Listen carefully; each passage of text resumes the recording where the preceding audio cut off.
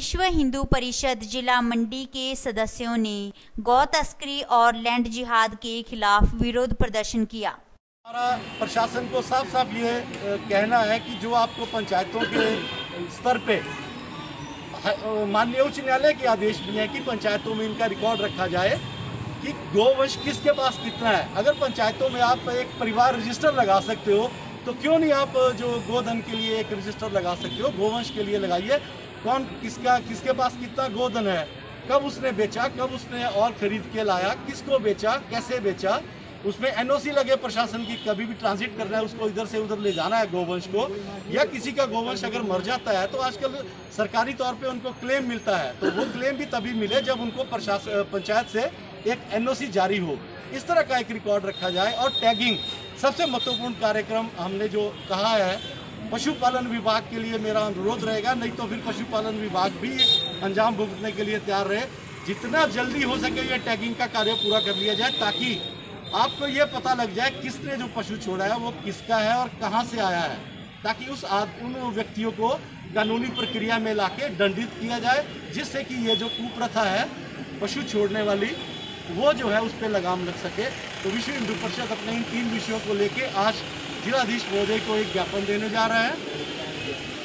और एक एक और नई चीज़ जो देखने में आ रही है, वो एक लैंड जहाद को लेके है, जिसको आप ये कह सकते हैं कि ज़मीन को हड़पना। वो उनका जो एक तंत्र है, वो इसी काम में लगा हुआ है कि सरकारी तंत्र के साथ मिलकर, चाहे कैसे भी उनको प्रभावित करके, उनको धन खिलाकर, जैसे भी है, जमीनों का पता लगाया जाए भी कौन से सॉफ्ट सॉफ्ट टारगेट्स हैं और खास करके जो सरकारी ज़मीनें हैं, वो इनके लिए एक सॉफ्ट टारगेट है। सॉफ्ट टारगेट इसलिए है कि वहाँ पे कोई मज़ार बना दो शुरू में।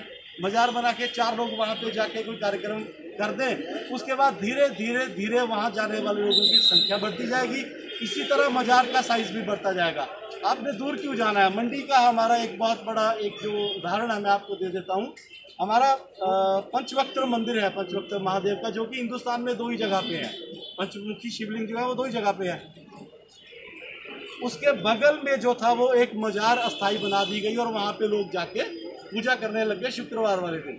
जब हमें इस पत, इस बात का पता लगा तो हमारे साथ अन्य हिंदू संगठनों ने मिलके और वहाँ के स्थानीय वीर मंडल ने मिलके जो था वो ये प्रयास किया और वहाँ से वो मजार जो थी वो हटवाई गई। और मेरा ये मानना है कि प्रशासन को जहाँ आप देखिए ना, मंदिरों में आपकी गाइडलाइंस जारी हो गई, गुरुद्वारों के लिए आपकी गाइडलाइंस जारी हो गई।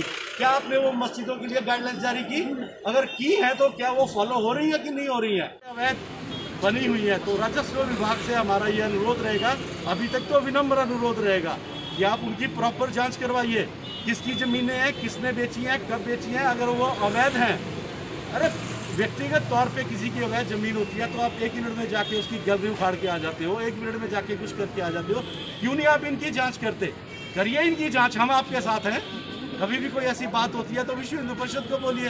अगर आपको किसी तरह की ज़रूरत पड़ती है, हमारा बजरंग दल आपके साथ है, हमारी मातृशक्ति आपके साथ है, दुर्गा वाहिनी आपके साथ है। आप आगे तो चलिए, कानूनी कार्रवाई आपके हाथ में है, हमारे हाथ में नहीं है। प्रशासन को ये चिताया जा रहा है आज की रैली के तौर पे। और ये जो हम ज्ञापन दे रहे हैं सरकार को, सरकार का भी ये इसमें दायित्व बन जाएगा कि वो जिला प्रशासनों को, सभी सभी जिलों के जिला प्रशासनों को ये गाइडलाइंस जारी करे कि जो भी हमारी मांगे हैं, इन पर शीघ्र अतिशीघ्र कार्रवाई की जाए। वरना विश्व हिंदू परिषद जो है, इसको प्रांत स्तर पे अभी तक तो ज्ञापन दिए जा रहे हैं। बाद में सड़कों पे उतरेंगे, धरने देंगे, विरोध प्रदर्शन करेंगे, जिसकी पूरी की पूरी जिम्मेवारी जो है वो जिला प्रशासनों की होगी। और कहीं ना कहीं वो सरकार की भी होगी। अगर वो जिला प्रशासनों को इस तरह के निर्देश, कड़े निर्देश जारी नहीं करते हैं। जय श्री